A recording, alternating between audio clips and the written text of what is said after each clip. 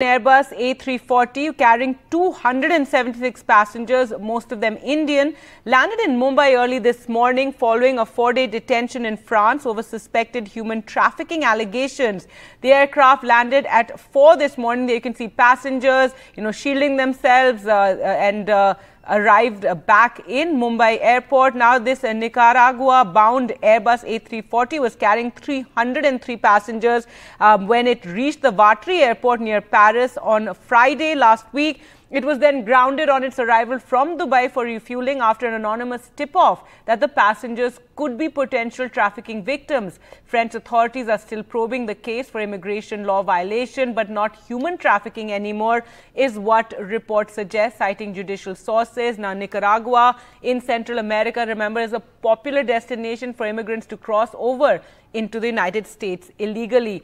Let's go across to Kadambini now for more. And Kadambini, this was big news when this flight was uh, grounded in France. It's now, uh, now back in India. What more do we know? We also know that around over 20 uh, passengers there stayed back in France uh, seeking asylum.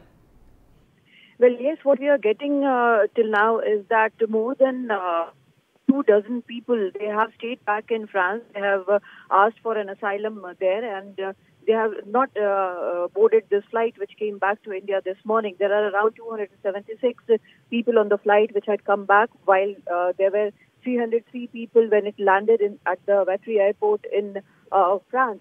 So it begs the question what exactly was the purpose of this flight and most of the people who were on this flight are have been had been speaking the Tamil or Hindi it is learned uh, there were several minors as well who were put in special care. Now it is not clear whether these minors uh, have uh, uh, uh have stayed back or they because they have been in special care, so they are staying there, or uh, there is some other reason. But at least 23 people are there, and it is said that reportedly they have asked for asylum there.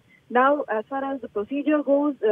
Uh, they have come back, uh, but the thing is that it might have been a technicality that this has not uh, been seen as a human trafficking thing because the visas on which they might have gone to uh, Dubai from where the flight originated and the refueling station which was in Vatry, these are technically not uh, uh, illegal immigration uh, uh, till they have tried and uh, entered uh, or tried to enter US or Canada illegally.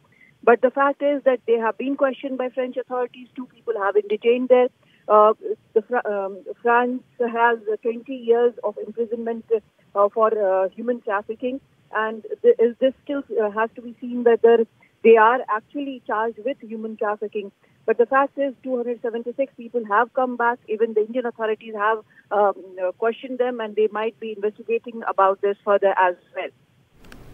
All right, uh, Kadamni, thanks so much for joining us with those details. So as you can see, that flight is back uh, with most of the passengers. However, over 20 of them have stayed back in France seeking asylum.